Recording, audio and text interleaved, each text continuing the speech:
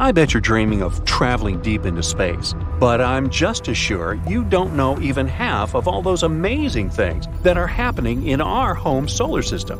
Like ice spewing volcanoes on Pluto, a potential giant planet lurking on the outskirts of our solar system beyond Neptune, or a giant canyon the size of the United States on Mars. Let's have a look. First of all, let's travel closer to our Sun and see how insanely massive it is. Want some proof? Well, 99.86% of all the mass of the solar system is the mass of the Sun, in particular, hydrogen and helium it's made of.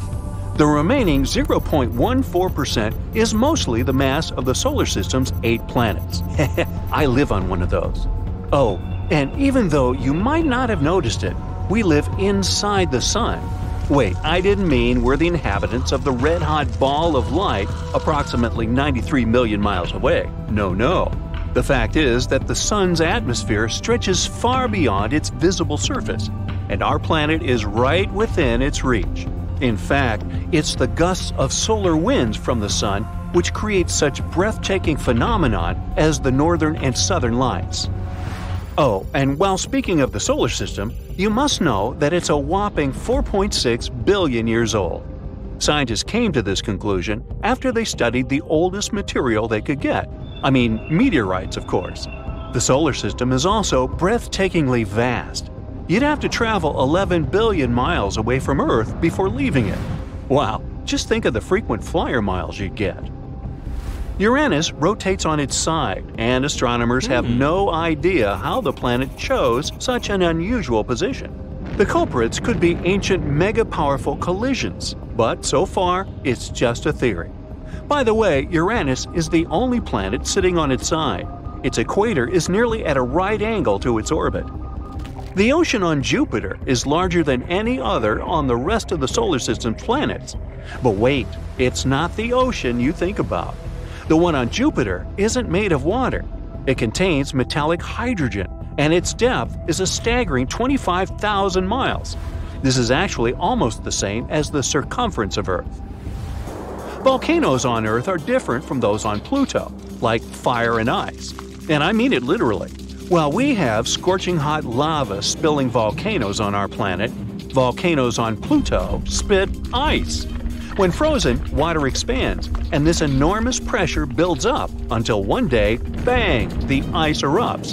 In the process, a new cryovolcano is formed. By the way, as you may remember, Pluto used to be a planet, but this title was taken away in 2006 by some astronomical bureaucrats.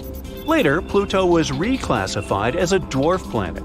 But the most unexpected fact about this space body is that its diameter is smaller than that of the US. See for yourself.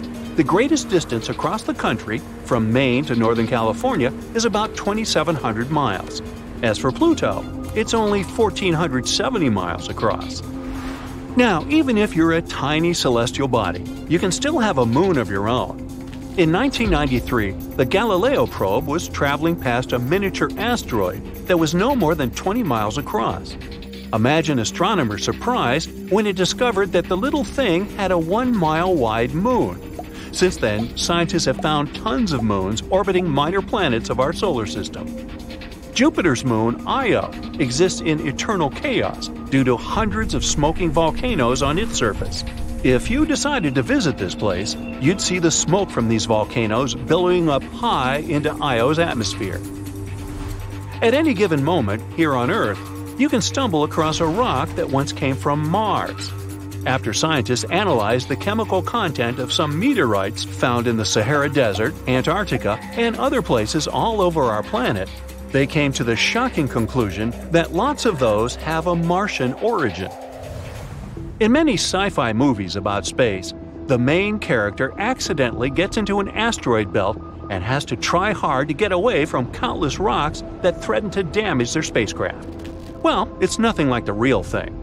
The only asteroid belt astronomers know about is located between Mars and Jupiter. There are thousands of asteroids in this region, but they're so widely spaced that the chance of collision is almost zero. Now, beyond the orbit of Neptune, there's a mysterious Kuiper belt filled with massive icy objects. The most curious thing about this space formation, though, is that scientists fail to explain the pattern of its movement. The only explanation they have is that Neptune might be hiding from our sight a ginormous planet.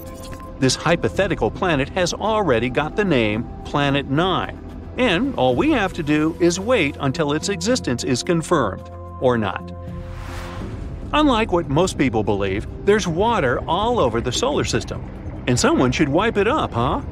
For starters, it's a pretty common component of comets and asteroids.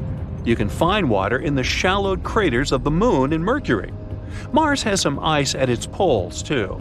The same goes for smaller members of the solar system, like dwarf planet Ceres or Saturn's moon Enceladus. Astronomers even suspect that Jupiter's moon Europa might have some life. Under its frozen and cracked surface, there's likely to be liquid water.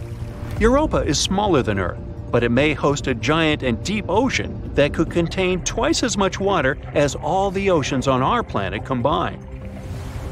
Now, you might know that Mercury is the smallest planet in our solar system. It's also very dense, the second densest after Earth. But this mini planet is getting even smaller and denser. After the Messenger spacecraft did its first orbital mission at Mars and mapped the entire planet, astronomers found out that Mercury is very likely to be a tectonically active planet. On its surface, there are cliff like landforms, also known as fault scarps. They're quite small, which makes scientists think that they appeared not so long ago. In other words, the planet might still be contracting. Now, look at these magnificent rings. You can say without any doubt that this planet is Saturn. People have known about its rings since the 1600s when the first telescopes were invented. But Saturn isn't that unique. Nowadays, we know that every planet in the outer solar system Neptune, Uranus, Saturn, and Jupiter has a system of rings. And since we've started talking about the planets of the outer solar system, let's have a look at Neptune.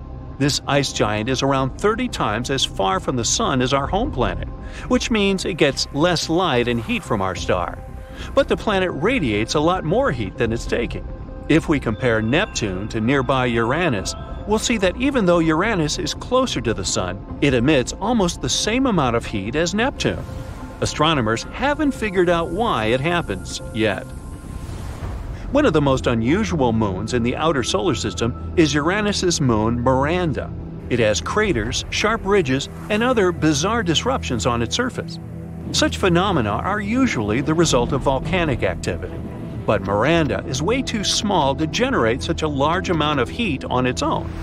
Astronomers think that it might be the gravitational pull from Uranus that heats and contorts Miranda's surface. But so far, it's just a theory. And there's no truth to the story that Miranda has a brother moon, Lin-Manuel. Finally, our solar system isn't the only one in the Milky Way galaxy. Far from it. The galaxy we live in houses over 100 billion solar systems. And if it's just our galaxy alone, what can we say about the whole universe?